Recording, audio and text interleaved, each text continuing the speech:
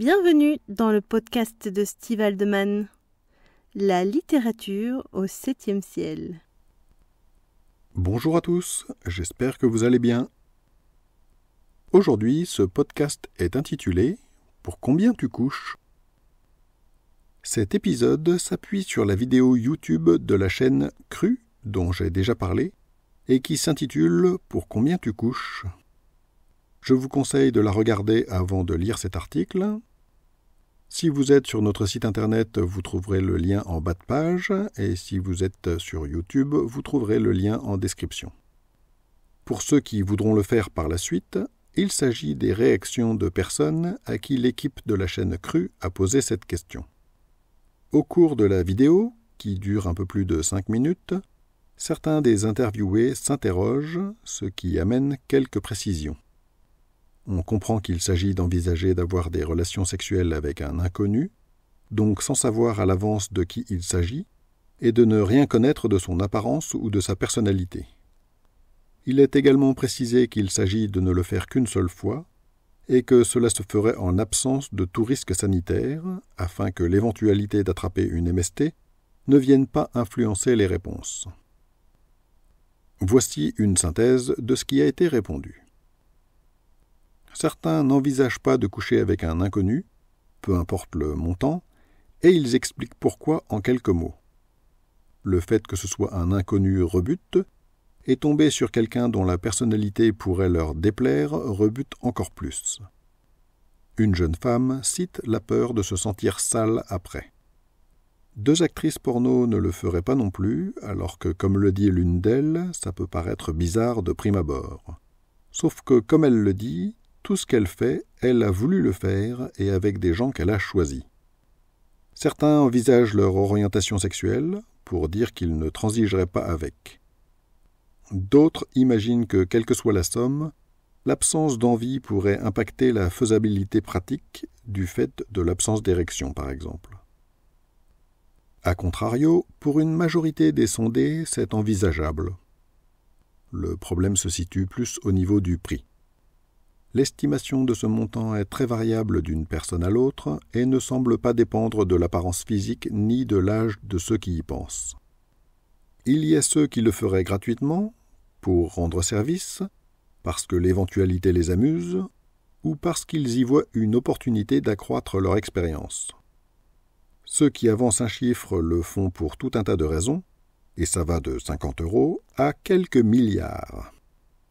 Il y en a qui, manifestement à court d'argent, le feraient pour peu. Le statut matrimonial des interrogés joue aussi sur les réponses. Mais même dans ce cas, au-delà d'une certaine somme, ils envisageraient tout de même de transiger avec leurs principes, soit en trompant leur moitié, soit en s'arrangeant avec elle. Parmi les sondés, une femme estime qu'elle l'a souvent fait pour le plaisir de ses partenaires, sans en avoir envie, donc sans contrepartie. Alors pour elle, envisager une rémunération pour ça, ça introduirait au moins un intérêt, même si elle n'en parle pas comme quelque chose de plaisant à imaginer. En tout cas, beaucoup sont capables de dire qu'au-delà d'une certaine somme, ils pourraient le faire. Pour autant, quand certains prononcent enfin le mot prostitution, le ton n'est plus à la rigolade. Le fait est que si j'aborde ce sujet aujourd'hui, c'est en introduction à un autre article que je consacrerai justement à ce thème, la prostitution. Et pour ce faire, je voudrais envisager une notion plus large, celle des relations vénales. Qu'est-ce que la vénalité? Les différents dictionnaires que j'ai consultés en donnent des définitions à peu près identiques. La vénalité, c'est le caractère de ce qui se cède en échange d'argent au mépris des valeurs morales. Une personne vénale est aussi décrite comme prête à se vendre par intérêt et que l'on peut corrompre. Dans le cadre de la question posée Pour combien tu couches? ces définitions me posent un problème. Elles introduisent le fait qu'accepter une somme pour un service sexuel, cela se ferait forcément au mépris de la morale. Or, je ne suis pas d'accord avec ça.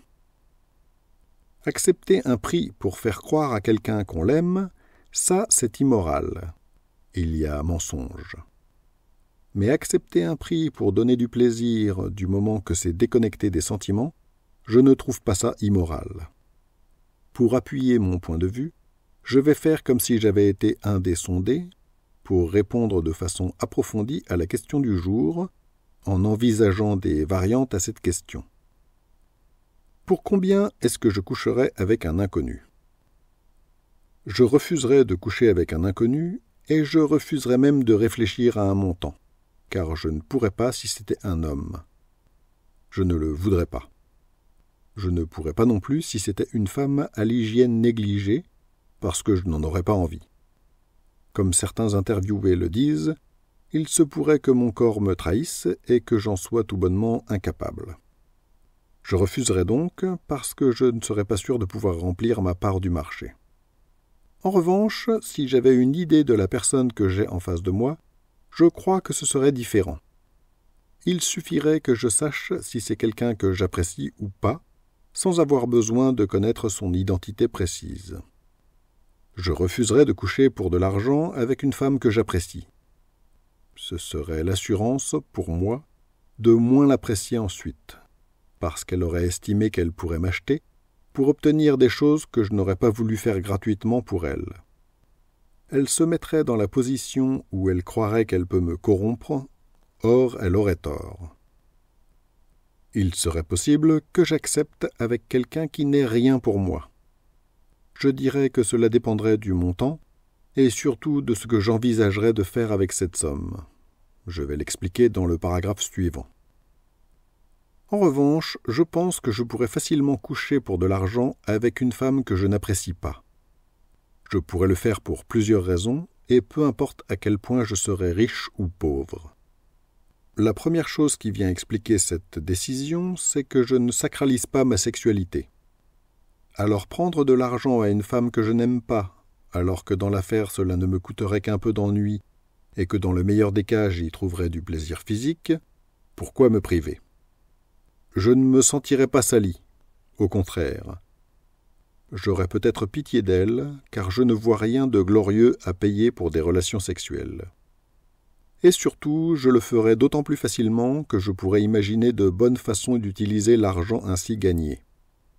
Si j'étais pauvre, je pourrais faire manger mes enfants à leur faim. Si j'avais des revenus limités, alors je pourrais faire plaisir à mes proches ou je pourrais réaliser des projets. Et si j'étais plus riche, je pourrais faire quelques dons aux œuvres caritatives qui me tiennent à cœur. Bref, je serais ravi de transformer une ou deux heures de mon temps, et l'argent d'une femme qui me déplaît, pour de bonnes raisons, à réaliser des choses constructives et bénéfiques. Ce serait pour moi une façon très rentable de transformer en bien l'immoralité d'une personne dont je réprouve les actions. Et vous, qu'auriez-vous répondu à cette question? Vous pouvez découvrir les liens en description pour approfondir les sujets dont j'ai parlé. Si vous avez écouté cet épisode en podcast, je vous invite à vous rendre sur mon site stevealdeman.com pour y trouver les liens en question, d'autres articles, ainsi que les romans que Rose et moi avons écrits, et ceux qui seront bientôt publiés. Je vous souhaite une excellente journée et à bientôt dans un prochain épisode.